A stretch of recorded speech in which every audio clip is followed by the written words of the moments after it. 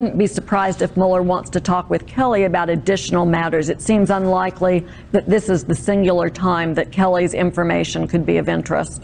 And that would be two chiefs of staff that we know have sat before Robert Mueller, John Heilemann. We also know, and let's just put this as delicately as we can, Donald Trump treats people like bleephole countries. I mean, you know, he doesn't treat people like well. crap, I believe it yeah. would be, would be one I was way. I think we the other say- one, the we one that started with I S. know, we but- can, we can but- certainly say crap But, but I mean, he treats people so badly. Right. There, there are public public reports about Jeff Sessions crying or being near Yeah. tears, Rod Rosenstein being near tears, um, John Kelly is reportedly, I think, over uh, the Labor Day holiday, screamed at in a way he's never been screamed at. I mean, these are, in whatever your politics, these are um, grown men being treated um, abusively by the president they serve. Right. I'll tell you a couple things that I, I, I, I'm listening to, uh, to Joyce and Chuck talk about this. I'm thinking about my career as a reporter.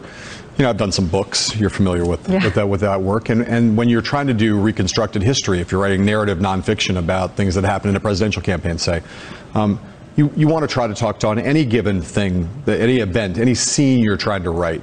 You want to talk to everybody in the room. You want to get contemporaneous notes. You want to get emails that were sent before the, ma- the meeting, after the meeting, anything on audio that anybody has. And you want to try to talk to everyone because the reality is that people's memories are terrible. Sure. There's also the Rashomon thing. People, even who are being honest with you, remember things differently. Right. And on top of that, then there are people who lie. And in this White House, there are people who lie a lot. Yeah. Right? So if you're trying to get to the truth, which is what a reporter tries to do in this situation, and what someone obviously like Bob Mueller and his team are trying to do, of course you're going to talk to everybody, and you're going to scoop up as much of that available evidence. When when I've worked on these books, I haven't had subpoena power or the threat of a subpoena. What you have is people's desire to tell the truth, to reconstruct history accurately, but you also have the thing that you're talking about, mm-hmm. which in a lot of cases you got people who want to settle scores. You got people who have who are angry at the boss or angry at a coworker, mm-hmm. and all of those things. Just letting out a little reportorial tradecraft here is all the stuff that you use to try to get not their version of events, but the truth of what happens. You use every possible piece of leverage, and Donald Trump is the most idiotic, moronic